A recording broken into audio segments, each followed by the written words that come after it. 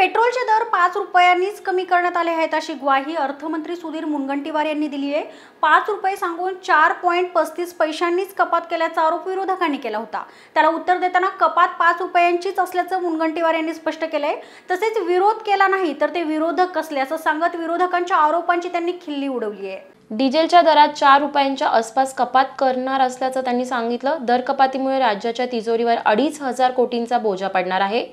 Petrol डिझेलवर दुष्काळाचा कुठलाही कर लावलेला नाही या फक्त अफवा आहेत असंही असंही सुधीर मुनगटीवार यांनी यावेळी स्पष्ट केलं. डिझेलच्या संदर्भामध्येही कपात होणार आहे. त्याच्याही संदर्भातला निर्णय? चार रुपये म्हटले म्हणजे केंद्राचे अडीच आणि राज्याचे दीड असं काय? साधारणतः आसपास कपात होईल. चार रुपयाच्या आसपास. आपल्या बोजा पडणार आहे काय त्याचा हिशोब आता आज संध्याकाळपर्यंत येईल. डिझेलची फाईल जेव्हा येईल तेव्हा साधारणतः सारा एकत्रितपणे जो आपल्यावरचा भार आहे कोणताही? कर लावलाच नाही. पण मला या गोष्टीचं आश्चर्य वाटतं की वारंवार हे लक्षात आणून दिल्यानंतर की आपल्या संविधानात अशा पद्धतीचा कर लावण्याचा अधिकारच सरकारला नाही.